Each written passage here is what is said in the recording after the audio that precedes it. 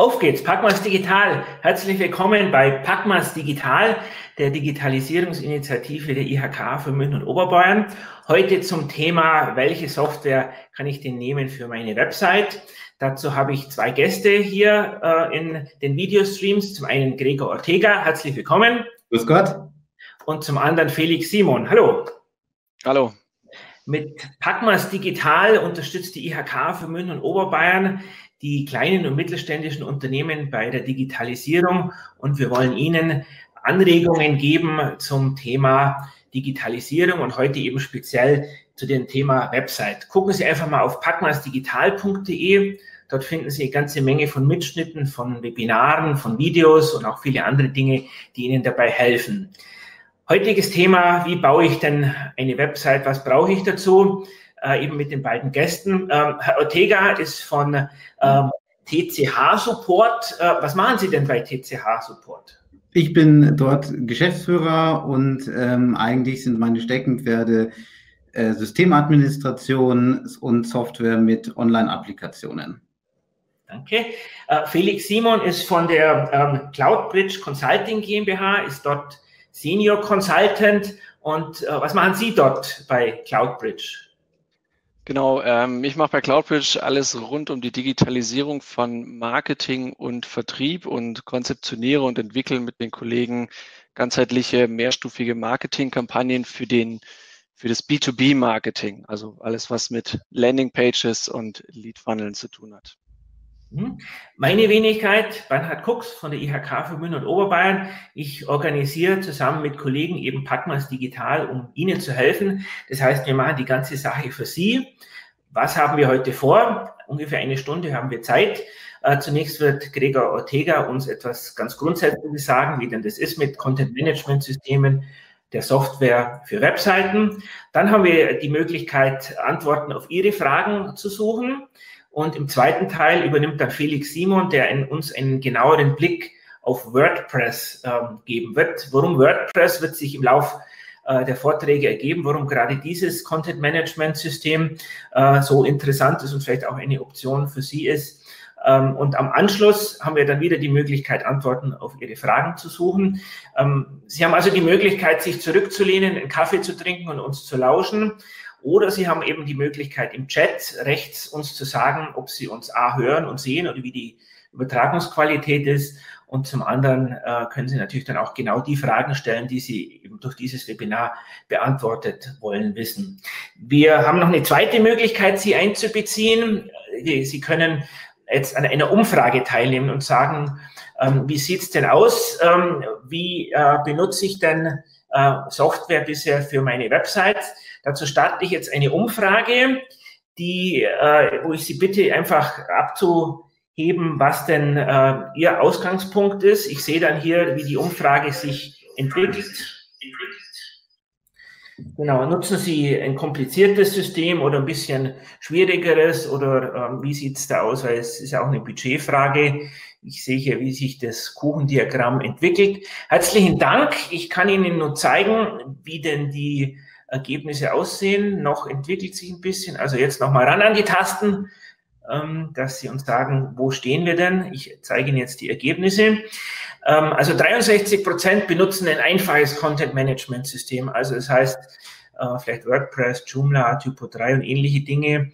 Wenige sind natürlich auch eine Budgetfrage, ein komplexeres Content-Management-System, manche auch selbst entwickelte Dinge äh, und keine Website. Immerhin auch noch mit neun Prozent. Das heißt, Sie, gerade Sie kriegen heute vielleicht die eine oder andere Anregung. Ganz zum Start eben durch Gregor Ortega, da schalte ich jetzt um und habe ungefähr zehn Minuten, ähm, 15 Minuten haben wir jetzt für Gregor Ortega. Ich bin für Sie als Gastgeber im Hintergrund, also wenn Sie irgendwas auf äh, der, dem Herzen haben, schreiben Sie es in den Chat, äh, versuchen es dann aufzugreifen. Ich übergebe an Gregor Ortega. Vielen Dank. Ja, vielen Dank. Jetzt äh, nach dem Mittagessen ist es vorbei mit der Beschaulichkeit. Ich darf mich kurz vorstellen. Wie schon gesagt, mein Name ist Gregor Ortega. Ich bin Jahrgang 1995, ähm, derzeit auch noch Masterstudent an der Technischen Uni München und ähm, darf die Firma TCH Support seit 2010 mit begleiten. Äh, was machen wir? Systemadministration, Schulungen, Verbindung von Webseiten und Webshops und ähm, wir machen auch das Thema Datenschutz und IT-Checkup, heißt ähm, Auditierung. Was sind unsere Themen heute, die ich Ihnen mitgebracht habe? Einmal, wie ist die Grundlage eines Content Management Systems? Wie funktioniert das eigentlich? Was sind Ihre Vor- und Nachteile? Brauchen Sie es denn überhaupt für jedes Projekt? Dann schauen wir kurz über die gängigsten Systeme. Und dann als letzten Punkt, was mache ich denn, um vielleicht meine alte Website wieder flott zu kriegen? Oder wenn ich sage, ich möchte wechseln auf ein anderes System. Grundsätzlich nur, damit Sie das Prinzip verstehen, wie was passiert, wenn Sie sich im Internet eine Webseite anschauen. In der Regel ähm, oder immer steht dahinter ein Webserver, der, den Sie ansteuern und der Ihnen die Webseite präsentiert. Jetzt wird es aber eigentlich, denke ich, bei fast jedem von Ihnen so sein, dass ähm, es äh, nicht nur einen Webserver für Sie privat gibt, sondern dass Sie sich den mit vielen Kunden teilen, wenn Sie zum Beispiel bei Strato sind oder bei 1 und 1 oder was weiß ich. Und ähm, dann wird Ihnen, wenn man auf Ihre Website, ähm, wenn man auf Ihre Website geht, wird Ihnen ein gewisser Bereich zugewiesen auf diesem Webserver und den schauen Sie sich dann an, heißt die Webseite. Schauen wir uns mal an, wie funktioniert dann das Ganze, wenn Sie kein CMS-System haben. Wenn Sie kein CMS-System haben, dann schauen Sie, gehen Sie ins Internet auf die Webseite, sage ich jetzt mal ihkmünchen.de oder ihk.de und dann sehen Sie dort ähm, eine Datei. Und das ist meistens eine HTML-Datei, das kann auch eine PHP-Datei sein. Und ähm, diese Datei, die rufen Sie einfach aus und schauen sich diese Website an, wie Sie zum Beispiel auch einfach ähm, im Internet, auf Ihrem Rechner eine Word-Datei anschauen. Das heißt, Ihr Browser, Firefox, Internet Explorer etc. fungiert sozusagen als Betrachter von Dateien. Und die Dateien können viel sein. Das sehen Sie jetzt hier, das ist eine Willkommensdatei, dann ist eine Bestellungsdatei, dann sehen Sie jetzt hier allgemeine Geschäftsbedingungen. Das ist also einfach eine Webseite, wo kein CMS dahinter steht. Herr Ortega, darf ich kurz unterbrechen? Hier ist eine Frage. Was ist eine PHP-Datei im Unterschied zu CSS? HTML. Ja, das wird jetzt ja sehr weit führen. PHP-Dateien sind Dateien, die ähm, serverseitig ausgeführt werden. Da können Sie zum Beispiel eine Programmierung auch reinbringen. Und ähm, eine CSS-Datei ist eine Design-Datei. Also, aber so weit will ich gar nicht ins Detail gehen. Ich kann nur sagen, die, es sind verschiedene Funktionen. In der einen Datei wird gesagt, so sieht die Webseite aus und in der anderen Datei wird dann zum Beispiel gesagt, na ja, ähm, wenn ich diesen Button drücke, dann wird irgendwas übertragen an den oder eine E-Mail versandt oder ein Inhalt dargestellt. Aber so genau müssen Sie das auch für den Anfang nicht wissen. Wie bearbeiten Sie denn Ihre Webseite, wenn Sie kein CMS-System haben? Wenn Sie kein CMS-System haben, läuft das folgendermaßen an. Sie haben diese Dateien auf Ihrem Computer gespeichert. Vielleicht müssen Sie diese auch erst herunterladen und dann bearbeiten Sie diese Dateien einfach auf Ihrem Rechner. Zum Beispiel diese Willkommen-HTML-Datei, die öffnen Sie dann mit einem Programm. Das kann etwas technischer sein, so eine Art Programmierung. Das kann aber auch relativ einfach sein. Vielleicht kennt jemand von Ihnen relativ bekannt Microsoft Publisher oder so. Und ähm, dann bearbeiten Sie diese Datei und jetzt sehen Sie diesen blauen Pfeil. Dann laden Sie diese auf Ihren bei 1 und 1 oder ich sage jetzt immer 1 und 1 bei einem Webhoster hoch und dann haben Sie diese online oder Sie überschreiben die derzeitige Datei. Das heißt, die Bearbeitung erfolgt auf einem Gerät, auf einem Computer in der Regel. Wie sieht das Ganze als CMS-System aus? Das ist alles ein bisschen anders. Beim CMS-System haben Sie nicht einzelne Dateien wie beim klassischen Webspace, die Sie dann einfach aufrufen und sich darstellen lassen, sondern das Ganze ist eingebettet in ein System. Das sehen Sie hier in diesem hellblauen Rahmen. Und dieses System besteht in der Regel einmal aus Inhalten. Die Inhalte sind dann immer auf einer Datenbank gespeichert und einmal aus einem Design. Und aus diesen beiden Komponenten ähm, entwickelt sich dann, grob vereinfacht natürlich, dann die Webseite. Die wird sozusagen generiert, die wird dargestellt. Und ähm, das ist der große Unterschied. Das heißt, Sie haben eine Generierung des Inhaltes.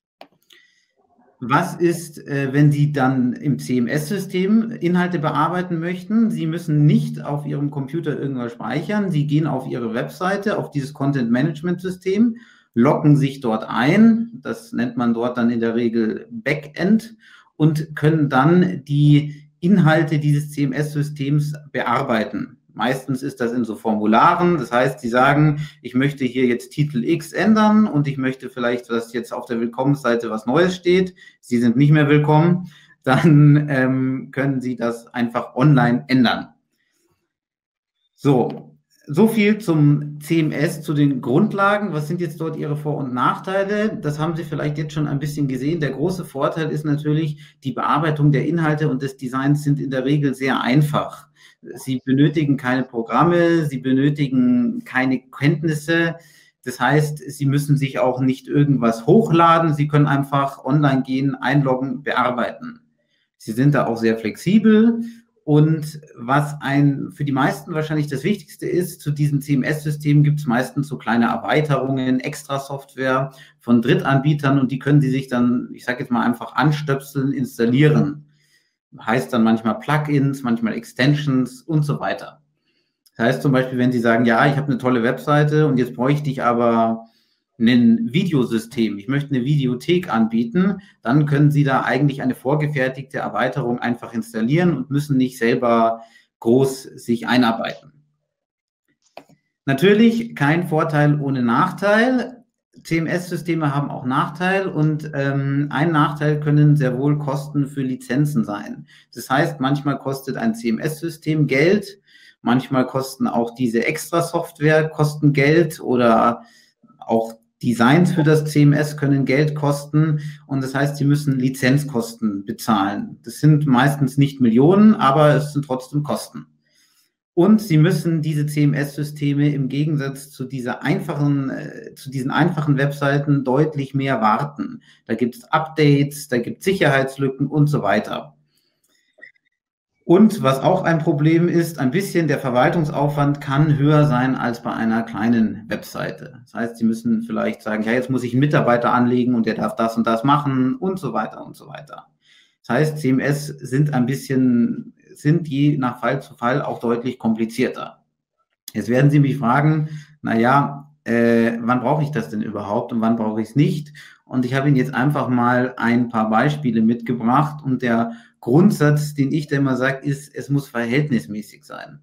Ich sage mal so, Sie haben eine kleine digitale Visitenkarte von Ihrem Laden vielleicht oder von einem kleinen Projekt, das sich auch nicht oft ändert dann würde ich sagen, nehmen Sie kein CMS, weil es einfach einfacher ist und weil Sie dann das Ding hinstellen können und dann ähm, ist es auch einfach fertig. Sie müssen sich nicht mehr drum kümmern, Sie müssen nicht irgendwelche Updates installieren, die Sache ist erledigt.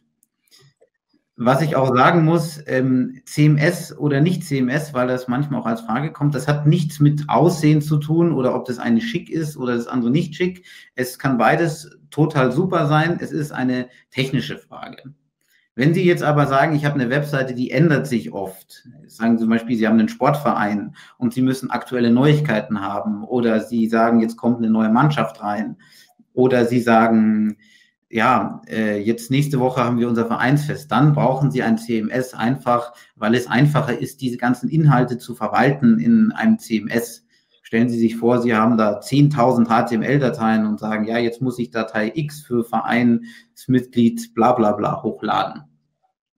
Wenn Sie sagen, Sie brauchen aufwendige Zusatzfunktionen, Sie brauchen vielleicht irgendwie sowas, ich sag mal Videothek, ähm, Dokumentensystem, Analysefunktionen aufwendige, dann ist ein CMS auch sinnvoll und immer CMS notwendig eigentlich beim Thema Online-Shop. Aber ich muss sagen, bei vielen Leuten ist ein CMS da, bei Webseiten, die sehr, sehr selten verändert werden, vielleicht einmal im Halbjahr oder einmal im Quartal. Und ähm, dann ist es aus meiner Sicht eher sogar nachteilig oft. Wie sieht denn derzeit die Lage im Web aus? Da ist hier eine Statistik drin, Quelle V3 Tags. Und zwar ungefähr 40 Prozent, fast die Hälfte, 43 Prozent, haben gar kein CMS-System. Die haben äh, also eigene Dateien. oder vielleicht auch was selbstprogrammiertes. Und dann sehen Sie jetzt schon, warum der Herr Simon von Cloudbridge später WordPress ansprechen wird. WordPress hat danach gleich den überwältigten Anteil, also der, der gesamttechnisch Systeme von 36 Prozent. Und danach kommen weitere Systeme wie Joomla, Shopify, Drupal, Squarespace, das ist jetzt ein, ein Baukastensystem und so weiter, ähm, die auch einen gewissen Marktanteil haben mit wenigen Prozent. Jetzt muss man sagen, ähm, sind die ganzen Systeme schlechter, die jetzt hier zwei Prozent haben als WordPress? Nicht immer. Aber man muss sagen, ähm, dass für viele, für den Großteil der Benutzer dieses WordPress-System ausreicht. Das hat auch viele Funktionen. Aber es gibt natürlich einmal historische Gründe und es ist auch so, dass man für manche Systeme ähm, einfach äh, was anderes braucht. Ich nehme jetzt mal an, Sie haben einen riesen Verlag und möchten ihre Zeitung publizieren und da müssen automatisch irgendwelche Seiten generiert werden mit Artikel. Ähm, da wird der hier Simon Ihnen mehr sagen, aber das könnte ich mir vorstellen, ist mit WordPress vielleicht etwas schwieriger. Sie sehen hier, ich habe es Ihnen gerade eben schon gesagt, hier sehen Sie nochmal schnell die Systeme, die ich Ihnen gerade vorgestellt habe. Und die dunkelblauen Systeme, das sind Baukästen, die werden je nach Definition auch als äh, Content-Management-System angesehen. Baukastensystem, das kennen vielleicht einige von Ihnen, das ist zum Beispiel 1 und 1 Webseitengenerator oder sonst was. Da können Sie schnell und einfach Webseiten machen. Und andere Systeme, das sind die hellblauen. Und dann sehen Sie die mit dem kleinen Einkaufskorb, das sind Shop-Systeme, die sich speziell an Online-Shops wenden. Wenn Sie jetzt sagen, Sie möchten Ihr CMS-System auswählen, wie sollten Sie denn am besten vorgehen? Und dort habe ich Ihnen einige Informationen hingeschrieben. Sie sollten vor allem Ihre Anforderungen anklopfen. Was muss ich haben? Welche Inhalte werde ich publizieren? Möchte ich vielleicht Dokumente haben? Viele. Was möchte ich analysieren? Dann ein großes Thema ist in der Regel automatisch generierte Seiten. Das heißt, Webseiten, die sich automatisch erstellen sollen. Damit meine ich, wenn Sie, habe ich gerade gesagt, zum Beispiel einen Verlag haben und Sie geben in einer Software was ein und es soll automatisch eine Internetseite daraus rauskommen, dann ist das immer ein bisschen heikel. Und heutzutage fast der wichtigste Punkt ist das Zusammenspiel mit anderer Software, mit anderen Plugins, das ähm, also mit Drittanbieter-Software. Also da müssen Sie immer darauf achten, kann das CMS-System das machen? Immer ein Punkt ist auch Support und Wartung. Manchmal gibt es CMS-Systeme, da können Sie bei irgendeiner Firma anrufen und können sagen, oh, das klappt nicht, regelt das bitte. Und natürlich auch, wie immer, Design und Usability. Viele von Ihnen werden vielleicht ein altes System haben und werden sagen, ja, das habe ich noch in der Schublade unten drin und ich möchte das jetzt renovieren, ich möchte das auf den als ist das Wichtigste, wird aber gerne vergessen. Und danach prüfen Sie auch in Verbindung mit anderer Software, mit Erweiterungen, ähm, den Aufwand dieses CMS und jetzt kommt auch was wichtig, auf den allerneuesten Stand zu bringen, auf die allerneueste Version. Das ist Schritt zwei und das ist der aufwendigste Schritt. Im Anschluss sollten Sie eine Testumgebung machen, wo Sie das Ganze dann einrichten. Meistens müssen Sie dann auch ein komplett neues Design entwickeln, weil das alte nicht mehr funktioniert mit der neuen Software. Und dann sind Sie eigentlich, wenn Sie das erledigt haben, fast fertig. Sie können dann noch Inhalte anpassen, wenn das notwendig ist oder sagen, naja, das muss ich noch ein bisschen was am Layout ändern. Wie machen Sie es, wenn Sie von CMSX auf CMSY umsteigen wollen? Zum Beispiel von Joomla auf WordPress oder Sie sagen von WordPress auf Typo 3 oder auf Drupal oder von ähm, was weiß ich zu was weiß ich. Erstens auch hier Backup machen. Zweitens auch hier Drittanbieter-Software prüfen, vor allem bei den Inhalten. Vielleicht ist irgendwas eingebunden, was nur funktioniert mit der Hilfe von externen. Auch der Schritt wird bei Ihnen das aufwendigste sein. Und dann heißt es importieren, exportieren. Da gibt es manchmal Funktionen und wo ich eigentlich ein großer Fan bin, es gibt Fremdanbieter, die Ihnen das kostenpflichtig, nicht allzu teuer meistens, übertragen. Das heißt, zum Beispiel sagen Sie, ich habe jetzt eine alte Joomla-Website, ich möchte die alles zu WordPress umziehen, dann können Sie meistens diese Anbieter darum bitten. Die sind da, haben auch einen Support. Ich kenne nur eine oder eine ganz gute, das ist CMS to CMS. Kann ich, will jetzt hier keine Schleichwerbung machen. Es gibt da viele bestimmt, die ganz sinnvoll sind. Ja, und das war es jetzt schon so von der schnellen Einführung. Genaueres zum Thema WordPress und anderen CMSS kommt ja dann vom Kollegen Simon. Und ähm, ja, ich hoffe. Ja, vielen Dank, Gregor Ortega, für diesen äh, Schnelldurchlauf durch ähm, das Grundprinzip der Content Management. Systeme und wie man eine Website baut. Äh, an Fragen kam jetzt schon, ähm, was kann man denn tun, wenn man jetzt wirklich sagt, ich möchte mir ein neues Content Management System aussuchen? Gibt es eine Checkliste, äh, anhand derer man sich orientieren kann oder einen Fragebogen? Vielleicht Herr Simon, Herr Ortega, wer sich angesprochen fühlt, der sagt, äh, wenn ich jetzt wirklich sage, nehme ich jetzt äh, Typo 3, WordPress, Joomla, also insofern. Also ich denke, ich fange mal an. Ähm, ein Punkt ist immer, was ich gesagt habe, was diese Anforderungen, was brauchen Sie? Das heißt, schreiben Sie sich ganz einfach, wie soll meine Website am Ende aussehen? Was soll sie können? Das ist, denke ich, Schritt eins. Schritt zwei ist ein bisschen die Verwaltung. Möchte ich das, dass ich das zu zweit mache im kleinen Betrieb oder bin ich der große Konzern mit verschiedenen Abteilungen, die das machen müssen? Und Schritt drei, denke ich, dass es eigentlich auch nicht zu unterschätzen ist, vor allem auch ein bisschen der persönliche Geschmack. Und wie kommen Sie damit denn im Alltag zurecht? kann ich das machen? Direkte Checklisten kenne ich nicht, was auch daran liegt. Ähm, Sie haben jetzt da oben zehn CMS-Systeme gesehen. Es gibt auf der Welt sicher 200 oder 500. Es gibt kommerzielle, nicht kommerzielle. Also ich denke, das wird schwierig sein. Da müssen Sie ein bisschen selber schauen. Mhm. Herr Simon, wollen Sie was ergänzen? Ähm, aktuell nicht. Also ich glaube, wie gesagt, das ist sehr ähm, vom Use Case äh, abhängig, was man letztendlich mit der Webseite machen möchte und wie viel Zeit man auch für Pflege und Betreuung aufwenden kann. Da unterscheiden die sich auch ein Stück weit. Genau. Aber gehen wir gleich nochmal drauf ein. Ja, es ist ja auch so, äh, man kann, es sind ja die meisten dieser etwas ähm, einfacheren Content-Management-Systeme sind ja kostenlos oder zumindest die Lizenz ist kostenlos. Das heißt, man kann einfach ausprobieren.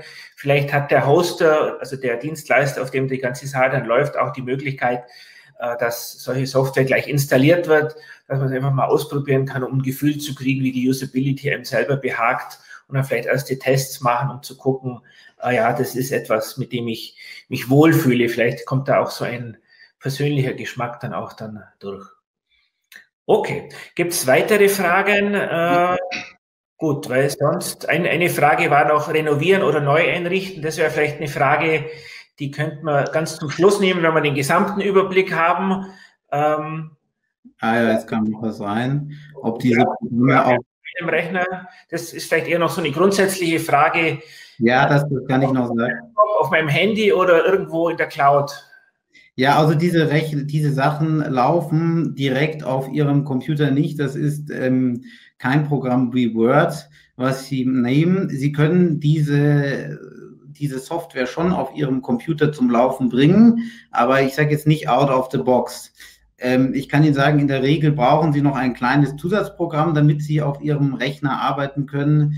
XAMPP und ähm, damit können Sie es dann zum Laufen bringen. Aber das ist jetzt auch nicht so, dass Sie da einen Klick machen. Also eigentlich, diese Software ist schon für Webserver gebaut und ein Computer, ein Betriebssystem ist halt kein Webserver. Aber es ist grundsätzlich möglich. Okay. Ähm, und die Kosten, da, das nehmen wir auch mit zum Schluss. Haben Sie noch ein bisschen Geduld. Ähm, wir schauen uns jetzt WordPress ein bisschen genauer an mit Felix Simon.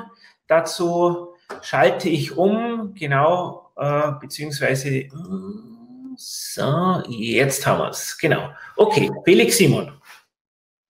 Genau, perfekt. Ähm, dann starte ich mal rein in den Teil ähm, über WordPress, dass wir uns das noch einmal genauer anschauen und ich Ihnen sagen kann, äh, vielleicht auch welchen, für welchen Use Case WordPress geeignet ist und was man damit machen kann. Ähm, ich gehe einmal durch die, durch die Vorteile des CMS, vergleiche es mal kurz mit Typo 3 und Joomla und ähm, wird dann auch in eine Demo springen, um zu zeigen oder um einen Eindruck zu vermitteln, wie das im Backend letztendlich aussieht. Vielleicht noch kurz zu mir, ähm, hatten es ja kurz vorhin äh, schon mal angesprochen, bin äh, Senior Consultant bei CloudBridge. CloudBridge ist eine ähm, Unternehmensberatung. Wir digitalisieren Marketing und Vertrieb. Das ist unser ähm, Slogan. Ähm, wir sind letztendlich der Ansprechpartner für die Digitalisierung im Mittelstand und ähm, bereiten dort die neuen Wege, sage ich mal, für die digitale Vermarktung von erklärungsbedürftigen Produkten, also alles, was im ERP, Software, IT-Umfeld ähm, geschieht. Das ist unsere Kernkompetenz, da gutes Marketing zu machen. Genau. Ich springe mal direkt rein, ähm, warum WordPress so beliebt ist. Wir haben es vorhin gesehen, dass äh, 40 Prozent aller Webseiten auf WordPress laufen. WordPress hat unter den CMS einen Marktanteil von 63 Prozent. Das heißt wirklich ähm, weit vorne und ähm, mit 4,2 Prozent ist Joomla dann das nächste äh, größere oder meistgenutzte ähm, CMS dahinter. Das heißt, WordPress hat einen riesigen Vorsprung und daraus ergeben sich dann auch, komme ich gleich zu die Vorteile ähm, ähm, von WordPress. Man kann also sagen, jede vierte, vierte Webseite läuft auf WordPress ähm, und pro Sekunde, das ist vielleicht noch eine ganz interessante Zahl, werden ähm, 22 Beiträge ähm, veröffentlicht. Wo kommt WordPress her? WordPress ist eigentlich ähm, ein CMS, ähm, ein Open Source CMS, was für die, ähm, für die Bloggerbranche sich entwickelt wurde sozusagen. Also es ist äh, groß geworden durch ähm, Blogger, die ähm, und ist darauf ausgelegt gewesen, ähm, wirklich schnell einfache ähm, Seiten zu erstellen und zu bearbeiten, ähm, um eben Bloggern, die täglich äh, News veröffentlichen, das Leben damit äh, sehr einfach zu machen. Das ist aber äh, eine ganze Weile her. Mittlerweile hat sich einiges geändert und WordPress eignet sich wirklich für ähm, eine große Anzahl an Use Cases ähm, und wird deshalb von vielen Herstellern äh, verwendet, auch um die Webseiten zu betreiben. Da vielleicht mal ein paar große namhafte ähm, Unternehmen, die auf WordPress setzen, also zum Beispiel eBay, Coca-Cola, UPS, ähm, wirklich große Unternehmen, die ähm, hergehen und, und ihre Webseite mit dem CMS WordPress pflegen, weil es eben wirklich ähm, vielseitig und anpassbar ist. Ähm, vielleicht zu den Vorteilen, dann kann man sich, glaube ich, schon ganz gut ein Bild darüber machen, ähm, für welchen Use Case es zum Beispiel für Sie geeignet wäre. Ähm, vielleicht das Wichtigste, ähm, durch den großen Marktanteil von WordPress hat WordPress eine große und wachsende Community, ähm, die dafür sorgt, dass es zum einen eine stetige Weiterentwicklung gibt und zum anderen, dass in extrem vielen Foren zu allen möglichen erdenklichen Problemen, die mit WordPress ähm, entstehen können und auf, auftreten können, geschrieben und diskutiert wird. Das heißt, man hat da wirklich eine breite Community, ähm, wo man seine oder wo man viele Informationen zu, äh, zu ähm, verschiedenen Problemen finden kann. Ähm, WordPress kommt auch daher mit den Plugins, davon lebt es sozusagen ein Stück weit. Also es gibt wirklich zahlreiche funktionelle Erweiterungen, womit extrem viel auf den Webseiten äh, möglich gemacht wird, die wirklich einfach zu installieren sind. Wir hatten es vorhin schon, da gibt es einen, wie einen App Store, wo ich mir die Plugins runterladen kann, installieren kann. Teilweise muss man dafür zahlen, manchmal sind sie auch kostenlos. Und die geben einem dann äh, wirklich einfach den Zugang zu viel Funktionalität auf der Seite. Ähm, außerdem gibt es bei WordPress ähm, sehr viele äh, Design-Themes. Ähm, das zeige ich nachher noch kurz. Damit arbeitet WordPress eben schon ein Grund-Setup an Design äh, der Webseite herzunehmen, zu installieren und sich daraus dann seine eigene Webseite zu, zu bauen. Und da gibt es auch wirklich viele, ähm, viele Anbieter, die diese Themes verkaufen und äh, Usern die Möglichkeit geben, da schnell ähm, auf einen guten Stand an der Webseite zu kommen.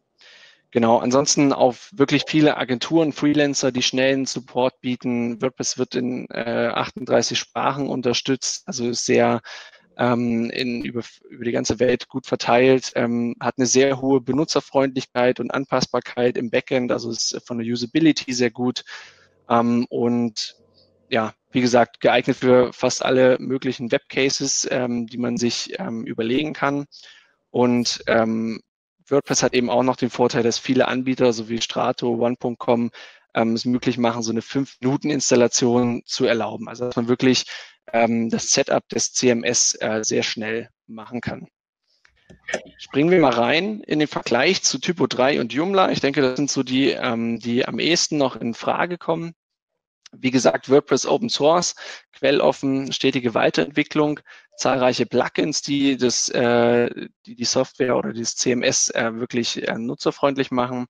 Intuitives Backend. Das Grundsetup ist ohne Programmierkenntnisse nötig, äh, möglich. Das heißt, da kann man wirklich einfach sich ähm, eine WordPress-Seite installieren. Auch wenn man was daran entwickeln möchte, wird mit PHP, MySQL ähm, gearbeitet. Also da ist auch das Hosting sehr einfach.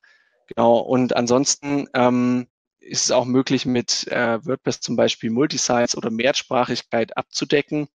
Da verliert dann WordPress aber schon ein Stück weit gegen Typo 3.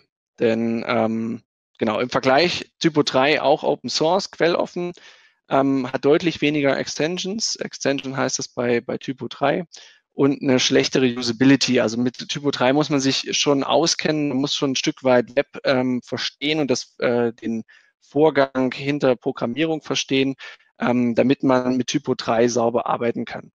In Typo 3, was da die Vorteile sind, ist zum Beispiel die ausgereifte Rechtevergabe. Also man hat da mehr Möglichkeiten, die Zugriffsrechte zu steuern, auch was wir vorhin hatten, den Use Case über verschiedene Unternehmensabteilungen hinweg.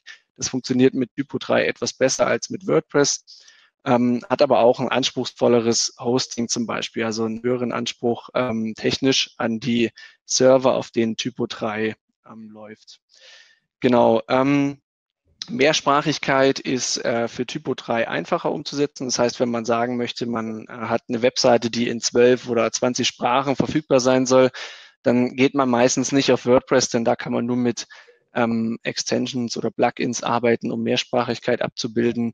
Ähm, da wäre dann zum Beispiel ein Typo 3 geeigneter. Aber man muss sagen, WordPress kann man von kleinen bis großen Projekten machen und Typo 3 sind immer gleich so mittelgroße bis große Projekte, ähm, weil eben das Grundsetup schon aufwendiger ist.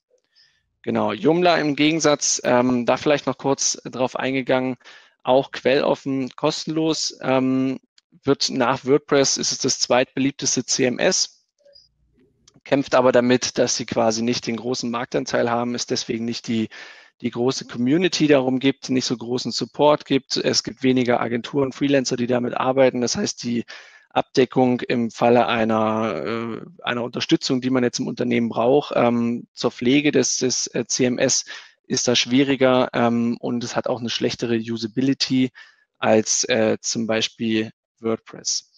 Dafür ist dort auch die Benutzerverwaltung Rechtevergabe ähm, deutlich besser, ähm, da das nämlich im, ähm, vom Anfang an in der Entwicklung von Joomla ähm, besser oder einen stärkeren Fokus hatte. Ähm, genau, es gibt bei Joomla das vielleicht noch auch ähm, die, diese Templates, dass man sagen kann, man installiert sich ein Template, so wie bei WordPress und setzt darauf die Webseite auf, aber da natürlich auch einen deutlich kleineren Markt, ähm, als bei, bei WordPress. Genau, Mehrsprachigkeit ist im Kern integriert. Ähm, das heißt, da ist Joomla auch stärker ähm, als WordPress. Ähm, wäre also für ein kleineres Projekt, was in vielen Sprachen laufen soll, ähm, wahrscheinlich eher der Hinweis zu sagen, man geht auf Joomla statt auf WordPress. Und also alles, was so zwischen Typo 3 und WordPress in der Projektgröße ist, da ist es dann geeignet, wenn es um Mehrsprachigkeit geht. Genau. Vielleicht mal kurz ähm, ein paar Plugins, um das zu zeigen, was man ähm, wirklich alles mit, mit WordPress dann an Use Cases erweitern kann. WooCommerce ist zum Beispiel ein sehr starkes Plugin. Damit kann man eine komplette E-Commerce-Lösung ähm, abbilden. Es gibt viele Online-Shops, die mit WooCommerce ähm, laufen. Das heißt, die auf Basis von WordPress ihren Shop ähm, aufgebaut haben. Da ist ein komplettes Abrechnungssystem mit integriert. Ähm, da ist ein Versandsystem auch mit integriert, dass ich sagen kann, das kann ich an mein Warenwirtschaftssystem anbinden etc. Also da ist bei WooCommerce viel Musik drin. Vielleicht nicht so ganz wie mit Shopify, das ist dann nochmal spezialisierter, aber so kleine Online-Shops oder so sind damit ähm, durchaus umsetzbar. Auch ein großes Thema SEO. SEO-Optimierung, wie kriege ich meine Seite SEO optimiert? Da unterstützt das ähm, WordPress-Plugin Yoast. Das kann ähm, eigentlich sehr viel ähm, in, in so wirklich an, un, also wenn man keine Erfahrung hat, äh, da an die Hand geben und sagen, optimier den Text, optimier das Bild, Meta-Descriptions fehlen etc. Das weist wirklich darauf hin, ähm, wo was fehlt und ist ähm, eigentlich ein sehr guter Einstieg in die SEO-Optimierung seiner WordPress-Seite. Damit kann man echt die Basics ähm, anfassen. Genau. Und zum Beispiel die anderen beiden jetzt noch, jetzt nicht so, äh, so ähm, extrem, aber Mesh-Share zum Einbinden von Social Links sehr einfach oder Back WP Up, also sein WordPress Backup machen. Ähm, da gibt es auch ein Plugin, was mir erlaubt, relativ schnell ähm, auf meinem Server ein Website-Backup zu machen, was vielleicht bei, bei einer statischen Webseite, die ich baue ohne CMS, auch ein äh, größeres Projekt wäre.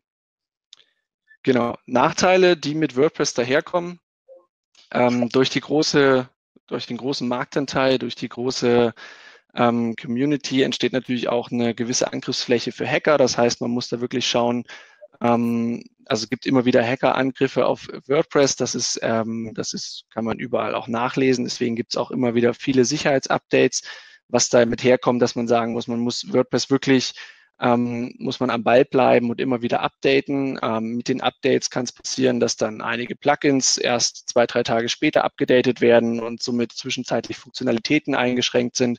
Also man muss da schauen, dass man da am Ball bleibt ähm, und die Seite pflegt.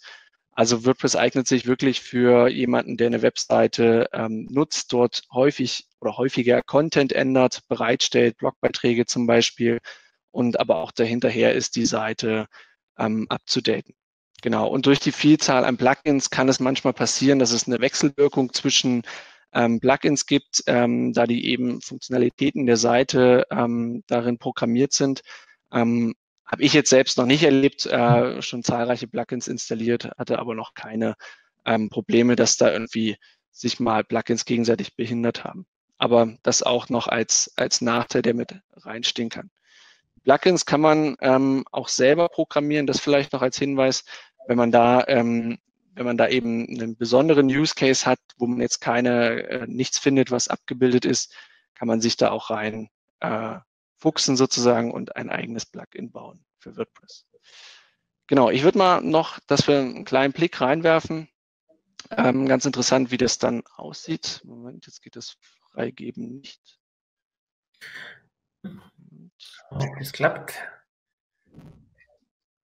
Nee, ich komme leider nicht auf das Fenster. Hm. Also Im Test vorher hat es noch funktioniert. Ähm, wenn freigeben. Ah, jetzt hat das Moment, das hat einen Moment gedauert. Okay. Ja, sieht gut aus. Schaut gut aus. Mhm. Ja. Perfekt, genau. genau Wie erreiche ich das, äh, das CMS? Letztendlich logge ich mich über eine, eine Maske im Web ein, also wie bei zahlreichen Tools ähnlich gehandhabt, äh, meistens über die Domain slash wp-admin. Moment, jetzt ist wieder weggesprungen. Funktioniert das Teilen noch? Ja, ja genau, funktioniert, ja. Bitte erlauben Sie den Zugriff für Ihr Gerät, steht jetzt hier. Mhm. Okay, jetzt sind wir wieder soweit beim Login von WordPress. Moment, ich habe hier gerade ein Fenster, die aufploppen. Also man okay. sieht mich noch, oder? Ah. Ja, alles klasse. Okay. Ähm, wenn ich mich einlogge, komme ich, äh, das ist in mein Backend von WordPress relativ ähm, schlicht für die, äh, am Start und es füllt sich dann je nachdem, wie viel Funktionalität ich letztendlich auf die Seite bringe. Am Anfang habe ich hier mein, mein Dashboard, ähm, wo ich verschiedene Plugins hinterlegen kann. Zum Beispiel bei WooCommerce kann ich dann sehen, wie ist der Status meiner Verkäufe oder kann sehen, wie ist mein SEO-Status. Das äh, kann man sich pflegen und hat dann so quasi beim Login gleich mal einen Blick da rein. Ähm, genau, ich gehe mal auf Design Themes. Das ist ähm, der Kern, wo ich letztendlich starten kann und meine Seite designen kann. Kann über neues Theme hinzufügen.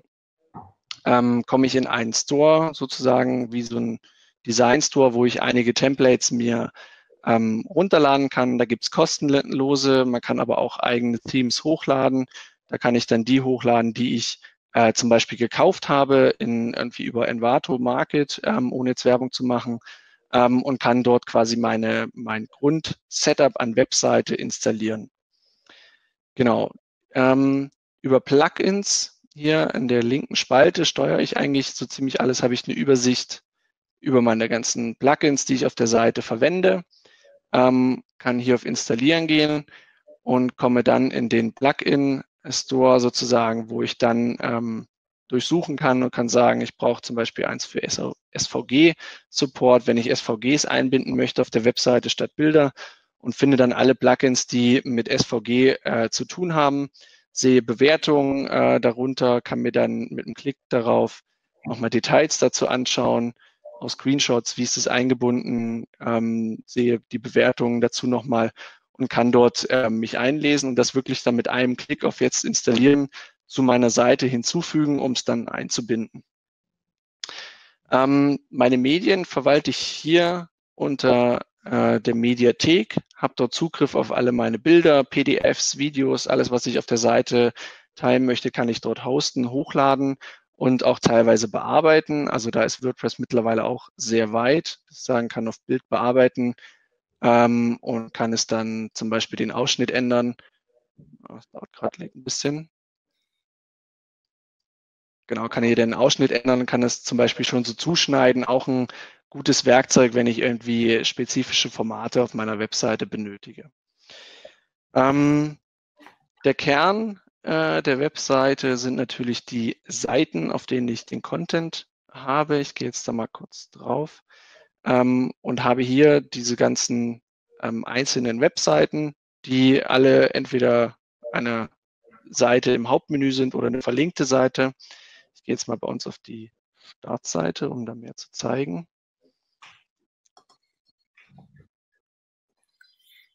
Genau, kann die dann eben hier ähm, einfach eine, eine, Liste meiner Seite und kann die aufrufen über Bearbeiten ähm, und komme dann in die Ebene darunter, wo ich dann die Seite wirklich ähm, einfach bearbeiten kann. Äh, Vorteil bei WordPress, ich muss ähm, da gar nicht viel können. Das ist wirklich ein, also kein, kein Verständnis für Programmierung haben, sondern es gibt auch die sogenannte Frontend-Editors oder Page-Builder, heißt es bei WordPress, gibt es auch zahlreiche, ähm, womit es mir möglich ist, meine Seite zu bearbeiten, ähm, ohne wirkliche Kenntnisse in HTML-Programmierung oder Seitenprogrammierung zu haben. Ähm, wir haben jetzt hier den äh, WP, also WordPress Bakery Page Builder. Ähm, damit kann ich eben wirklich sehr einfach reingehen und kann meine Seite bearbeiten. Das heißt, wenn ich hier einen Textbereich habe, klicke ich einfach auf den, den Stift und komme da in das Textfeld und kann dort Texte ändern. Das ist wirklich auf einem ähm, sehr einfachen, intuitiven Weg ähm, möglich. Ähm, so baue ich mir letztendlich meine Seite auf. Also das ist dann, ähm, kann man hoffentlich gut sehen, mit ähm, aus der Programmierung mit äh, Containern, die ich habe, Div-Container. Das sind die, die Zeilen, die ich hier eben starte und setze dort ähm, Elemente rein, die dort angezeigt werden sollen. Also Elemente wie zum Beispiel ein Bild, ein Text, ähm, Video, Icons etc. Das heißt, ich kann mir wirklich von Grund auf einfach meine Seite programmieren, gehe auf Hinzufügen einer Zeile ähm, und kann dort dann in ein, also nicht, einen Textbereich hinzufügen, ähm, den ich dann einfach bearbeiten kann äh, mit ein IHK-Webinar, ohne es jetzt in die Länge zu ziehen. Und ähm, habe dort dann schon mein Element bearbeitet. Genau, das Ganze sind, ähm, kann ich dann veröffentlichen, aktualisieren ähm, und bin, lande dann auf meiner letztendlichen Seite, die ich quasi verändern wollte oder bauen wollte. Das war jetzt hier bei uns die Startseite. Ich habe jetzt nur eine Vorschau gemacht, nicht unsere Startseite aktualisiert. Ähm, aber da können wir dann hier unten sehen, dass wir da den Text eingefügt haben. Da, IAK Webinar ist dort gelandet. Genau, über den Page Builder habe ich auch noch die Möglichkeit, in einem sogenannten ähm, Frontend-Editor zu gehen. Das heißt, das ist dann noch eine Stufe einfacher. Ich kann dann wirklich ähm, in dem, wie ich die Seite letztendlich auf meinem Computer sehe, anfangen, die Elemente umherzuschieben und zu bearbeiten ähm, und kann, wie ich es aus, vielleicht aus einem Website-Baukasten wie Wix zum Beispiel oder Jimdo kenne, ähm, mit den Elementen da einfach hantieren. Genau, jetzt lädt es ein bisschen länger. Okay, dann gehen wir mal rüber. Ähm, vielleicht nochmal zurück zu dem Yoast SEO. Das ist vielleicht noch, um die äh, Journey auch noch zu Ende zu denken. Ah, jetzt sieht man es, genau. Also ich kann jetzt dann hier, wie gesagt, habe ich so einen Editor, wo ich ganz einfach ähm, in Texte gehen kann und die hier live in dem, wie ich sehe, ändern und anpassen kann. Genau, also sehr, sehr userfreundlich, ähm, einfache Usability. Ich gehe nochmal einmal auf Seiten zurück und springe nochmal kurz ins, ähm, auf eine Seite, dann bin ich auch schon fertig. Ähm, und sehe dann hier unten nochmal zu dem Yoast SEO, also wenn ich dann meine Seite gebaut habe, Plugins installiert habe, Medien hochgeladen habe, habe eine Seite gebaut, Unterseiten verlinkt, ähm, kann ich in die SEO-Optimierung gehen und hier hilft mir dann mein, mein äh, SEO-Plugin, ähm, da wirklich sehr einfach die Basics anzupassen. Also ich kann hier meine Meta-Descriptions bearbeiten, direkt in der Seite, kann ähm, dort die Lesbarkeit optimieren und äh, eben dort auch Bilder hinterlegen, die ich dann haben möchte, wenn äh, ein Link geteilt wird, etc. Derartige Sachen einfach handeln über verschiedenste Plugins. Genau, ich würde jetzt mal das Teilen beenden.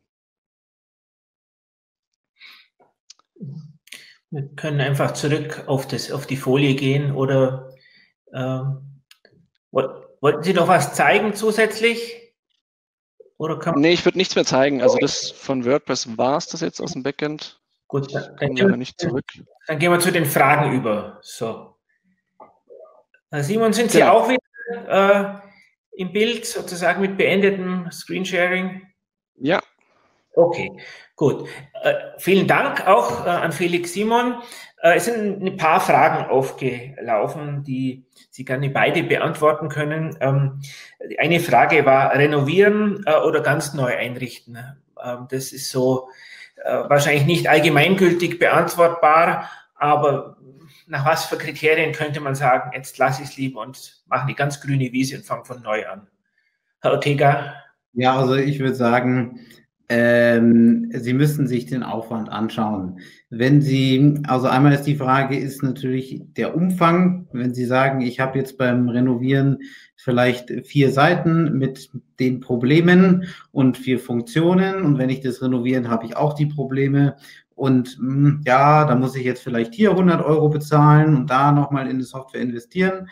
Ähm, dann können Sie sich überlegen. Wenn jetzt natürlich rauskommt, ähm, ja, das Ganze ist jetzt so Asperg uralt, dass sich da, dass das alles sprengt, alles Neues, dann sollte man, ist es in der Regel billiger. Aber ich sage es ganz klar, es ist immer der, die Größe des Ganzen. Also ich hatte, wir hatten auch schon Kunden, die zum Beispiel äh, Bibliotheken hatten, also Online-Bibliotheken mit ähm, insgesamt 60, 70.000 Seiten und die kopieren sie natürlich nicht so schnell in ein neues System rüber oder ziehen das mal schnell um. Also es ist, es, wie sagt der Jurist, es kommt drauf an. Okay. Herr Simon, auch eine, äh, eine Einschätzung dazu, wann renovieren, wann neu einrichten? Genau, ich würde auch sagen, äh, kommt immer auf den Use Case drauf an, wenn man es, äh, wenn man eine kleine Seite hat, die vielleicht schon auf einem CMS läuft und man möchte sich äh, da nur nach einem neuen umschauen, ist es vielleicht gut zu gucken, wie kann ich die renovieren oder ein anderes CMS dahinter spielen. Ähm, auch eine Frage, wie viele Daten sind da drauf, wie kann ich die Daten transportieren, kriege ich die in das neue CMS einfach rein. Mhm. Ähm, ansonsten bin ich grundsätzlich ein Fan vom neu einrichten und auch überdenken, ähm, macht die Inhaltsstruktur oder machen die Inhalte, die ich darauf bereitstelle, so Sinn? Oder gibt es da auch eine Möglichkeit, das nochmal anzupassen, zum Beispiel und zu sagen, sortiere ich aus oder überlege mir da nochmal was Neues in dem Aufbau, Seitenaufbau. Das ist immer ein ganz guter Case äh, bei der Website Neuaufbau, das auch mit zu bedenken. Mhm. Ähm, dann war eine Frage, da hat sich einer selbst als Neandertaler bezeichnet. Ich meinte, ist wahrscheinlich so zu interpretieren, dass man kein IT-Fachmann ist. Da haben Sie, Herr Simon, vorher gesagt, WordPress ist in fünf Minuten installiert. Äh, schafft es auch jemand ohne größeren IT, ohne größeres IT-Know-how?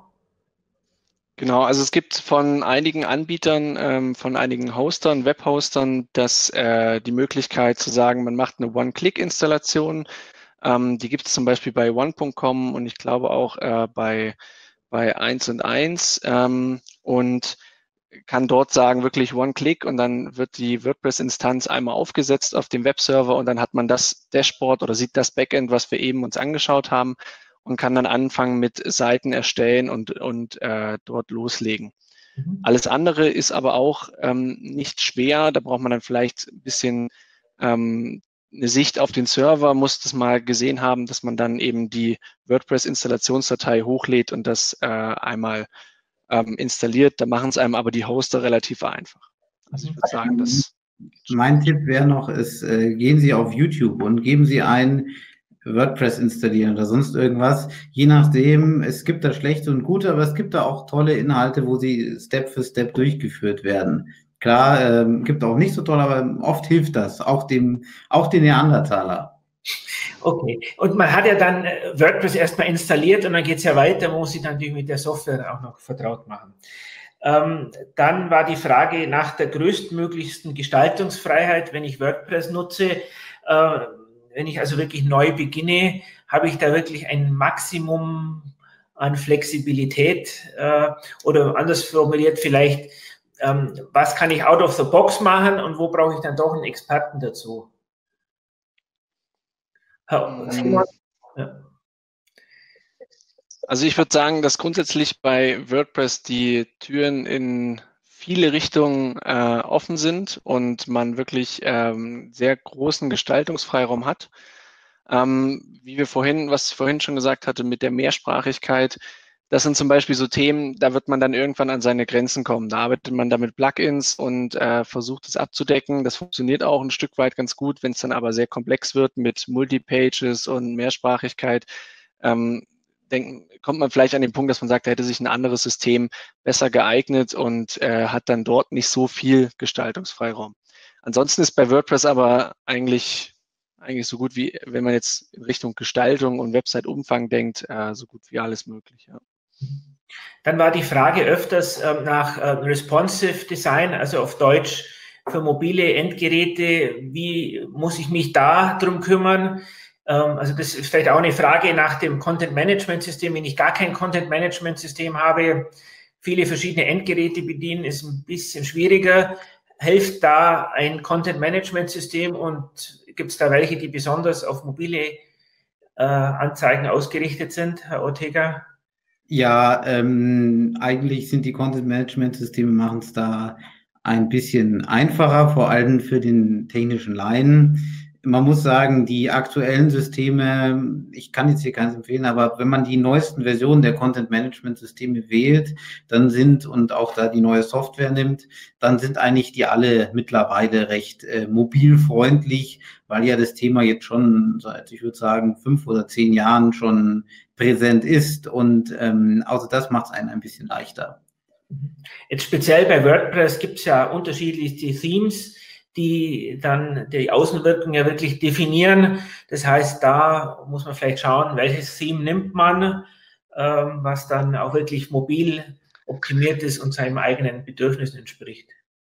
Simon? Genau, ich glaube, dass, ich glaube, dass die gerade die Themes äh, ein guter eine gute Zeitersparnis sind, wenn man äh, über responsive nachdenkt oder wenn man seine Webseite responsive baut, ähm, weil die eben schon in alle, ähm, alle Größen programmiert sind und man verschiedene Views hat, ähm, die man sich auch vorher schon anschauen kann für Mobil, Desktop oder Tablet ähm, und hat dort das schon vorgefertigt. Das heißt, man muss da nicht viel programmieren und kann da auf dem einfach aufsetzen.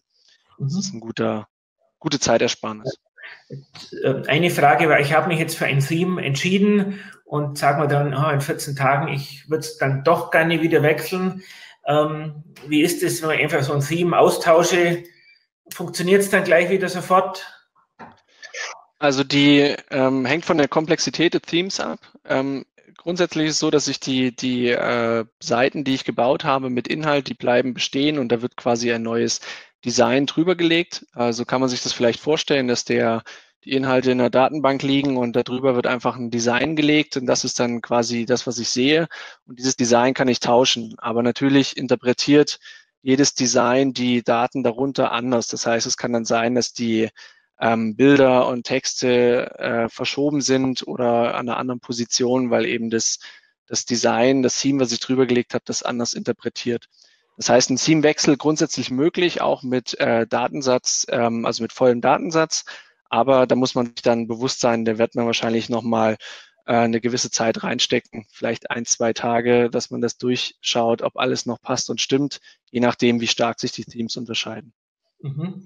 Ein, der Chat, wollt noch was ergänzen, Herr Ortega? wollte nur sagen, lieber am Anfang ordentlich die Anforderungen anchecken anderen Sachen, als ja, jetzt wechseln wir mal hier und da und anderes System. Ja. Und Okay. Äh, ein Tipp aus der äh, Chatleiste ist, um zu überprüfen, ob es responsive ist, dass man einfach den Browser verkleinert und guckt, wie denn dann die Umbrüche sind und solche Dinge sich entwickeln, dass das so ein Indiz ist. Ja, ist schon mal ein Anfang. Genau. Äh, dann war äh, eine Frage nach der Bildbearbeitung. Da ist auch ein Tipp aus dem aus der Chat mit dem Programm Irfan View. Ähm, ich benutze ganz gerne Get Paint. Das sind so zwei günstige, leistungsfähige Bildbearbeitungsprogramme. Was setzen Sie ein, Herr Ortega, als Bildbearbeitungsprogramm? Kommt darauf an, für was, was man machen möchte. Ähm, in der Regel haben wir auch Open Source GIMP gibt es. Ähm, es gibt natürlich für viele Leute auch den äh, großen Photoshop, aber äh, für die einfachen Website-Bearbeitungssysteme, ich kann äh, GIMP noch empfehlen, wenn es ähm, etwas mehr sein soll, aber sonst, äh, was gerade gesagt wurde, Get Paint oder äh, EarthenView, ähm, warum nicht? Mhm. Okay. Mhm. Dann war die Frage nach äh, Baukasten. Wix, ähm, der Wix-Baukasten ist weit verbreitet. Ähm, haben Sie da Erfahrungen damit, wie man das einschätzen kann? Ich glaube, ist nicht schlecht. Klar, man hat, äh, man muss einmal bezahlen in der Regel, wenn es gescheit sein soll, an diese Baukastenfirmen, an Wix oder gibt ja ganz viele. Ähm, vorhin hatte ich einige gezeigt und man ist ein bisschen unfreier. Wenn Sie sagen wollen, jetzt will ich noch das haben oder das Design nicht so, da sind Sie natürlich von dem Anbieter abhängig. Mhm. Aber grundsätzlich für jemand, der es vielleicht noch einfacher haben will, muss man sagen, die Baukästen kein nicht, nicht, nicht so schlecht aus meiner Sicht. Okay. Mhm. Da ist, stellt sich immer die Frage nach der Datenschutz, äh, Datenschutzgrundverordnung. Das ist etwas, was wir am 9.6. aufgreifen wollen. Mit meiner Kollegin der Rita Bottler, da geht es speziell um das Thema Datenschutz ähm, von Websites und von Online-Shops. Da beleuchten wir das mal ganz genauer, wie denn das ist und was denn da so an vielleicht an Details zu beachten ist. Ähm, dann ist auch die Frage, ob man einen Webhoster empfehlen könnte. Es sollten jetzt eigentlich weniger Produktnamen ähm, äh, sein, sondern auf was sollte ich denn bei einem Webhoster achten? Also man muss, ich weiß nicht, was man muss sagen, wenn es gibt ja so viele Webhoster, also selbst bei Namen wäre es schwierig, weil dann sagen sie mir 20 andere, die genau das Gleiche können. Also ich würde darauf achten, dass die aktuelle Software ähm, verfügbar ist. Also ganz konkret sind das in der Regel PHP-Versionen dann würde ich immer beim Webhoster auch ein bisschen auf den Support schauen und auf die Auswahlzeit. Geht, wenn da was schief geht, erreiche ich da schnell jemanden. Und ähm, klassischerweise sind dann so Sachen Anzahl an MySQL-Datenbanken, Speicherplatz. Und was auch ein wichtiger Punkt ist, da kann man auch recherchieren, ist in der Regel ein bisschen die Geschwindigkeit des Webhosters. Das heißt, wie schnell laufen die Server. Und was Herr Kucks natürlich sagt, was, im, was gern vergessen wird, äh, Datenschutz. Also ich würde eher europäische oder deutsche Firmen nehmen, auch wenn man hier mal eine deutsche Nummer wählen kann, anstatt irgendwie äh, billig asiatisch oder amerikanische. Mhm. Ähm, dann war eine Frage nach der Sicherheit von WordPress. Äh, wie gut kann ich mich denn darauf verlassen? Oder wenn ich es installiert habe, ist es dann gleich sicher oder muss man da noch ein bisschen genauer hingucken, Herr Simon? Mm, also grundsätzlich hängt, also wenn man WordPress äh, Plain installiert und dort immer die aktuellste Version fährt, ist es eigentlich recht sicher. Spannend wird es dann, wenn man äh, viele Plugins dazu holt. Da muss man auch schauen, dass man die Plugins ähm, immer wieder aktualisiert und dort die neuesten Versionen hat, weil immer wieder kann es dazu kommen, dass dort dann eben Sicherheitslücken entstehen. Ähm, und das sind eigentlich die meisten Einfallschleusen in, in die WordPress-Systeme. Das heißt, da würde ich schauen, ähm, auch mit, wenn das sehr äh, spielerisch oder sehr interessant ist, viele Plugins da reinzunehmen, das möglichst schlank zu halten und äh, die, die äh, ja, eben noch updatebar zu machen und schauen, dass ich die Seite ähm, schlank habe und dann ist sie auch relativ, relativ sicher. Wenn ich dran glaube, ja. Ähm, wir haben, hätten jetzt noch ein paar Detailfragen, die schon ein bisschen in die Tiefe gehen. Also meine Website ist zu langsam. Wie kann ich den sicherheitstechnisch noch ein bisschen äh, besser machen? Äh, ist WordPress ein Programm, das man einfach so installiert. Hm, wir haben jetzt ungefähr eine Stunde äh, hinter uns. Ich beende jetzt dann das, das Webinar. Falls Sie noch detailliertere Fragen haben, können Sie sich gerne an Hanna Ortega und Felix Simon wenden. Äh, es gibt in München oder auch an anderen Orten auch ein Meetup zum Thema WordPress, wo man dann auch hingehen kann oder jetzt gerade nicht, aber viele machen das auch virtuell, so dass man dann sich da auch dann mit Experten für seinen detaillierten äh, Bedarf an WordPress interessieren kann. Ähm, ich danke Ihnen. Erstmal, wir haben noch eine Umfrage für Sie und zwar ähm, wollen wir noch wissen, was machen Sie denn jetzt eigentlich in der Zukunft? In der Zukunft ähm, wollen Sie einfach so weitermachen wie bisher? Wollen Sie eine neue Website aufsetzen oder ich brauche eigentlich keine Webseite? Also da bitte ich Sie nochmal zum Ende um ein kurzes äh, Blitzlicht auf das, was Sie in Zukunft vorhaben. Mhm. Ah ja, ist interessant. Das zeige ich Ihnen gleich. So, da, die Ergebnisse präsentieren dann sehen Sie jetzt hier, ähm, wir werden äh, unsere Website mit einer neuen Software relaunchen. Ja, ungefähr ein Drittel oder 38 Prozent. Wir haben bisher keine Website und brauchen eine neue Website. Das ist ein Punkt, der häufig genannt wird. Und wir sind zufrieden und bleiben bei der aktuellen Website. Also ich hoffe, Sie haben den ein, die eine oder andere Anregung heute mitnehmen können. Eine Stunde geht ruckzuck rum. Wir haben als Packmas Digital vor, natürlich weitere Webinare zu machen. Wie schon erwähnt, am 9.6. geht es ganz explizit darum, um Datenschutz von Website und Online-Shops. Äh, davor haben wir zwei Webinare, eins am Montag zum Thema äh, Storytelling, äh, also wie erzählen Sie Geschichten. Das heißt, wenn Sie dann eine Webseite haben, brauchen Sie auch ein bisschen Content und dieser Content soll Sie dann natürlich im besten Fall so emotional mitnehmen, dass Sie dann auch das tun, wofür Sie eigentlich die ganze Website machen. Und am 2.6. geht es um digitale Geschäftsmodelle. Gucken Sie einfach auf packmasdigital.de, da finden Sie die Übersicht. Ich danke nochmal ganz herzlich Gregor Ortega und Felix Simon und natürlich Ihnen, die zugeschaut haben. Wollen Sie auch noch kurz Tschüss sagen? Ja, sehr gerne. Vielen Dank an alle. Ich hoffe, wir konnten Ihnen etwas helfen heute. Wenn Sie Fragen haben, können Sie sich gerne noch an mich wenden oder an den Simon, wie gesagt. Und ähm, dann einen schönen Nachmittag Ihnen allen. Genau.